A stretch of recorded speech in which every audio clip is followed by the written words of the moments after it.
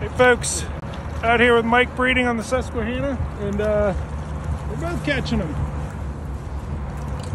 All sizes. All sizes. See you later. Mike's a guide out here on the Susquehanna River. Tell us how people get in touch with you to book a trip.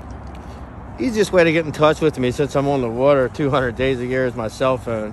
And that's 443 614 9842. And you can also go to Grateful Guides and uh, contact us through the website, Facebook, Instagram. And both of those will uh, be, uh, you can go to both of those sites uh, through our website. You can go to Instagram or Facebook.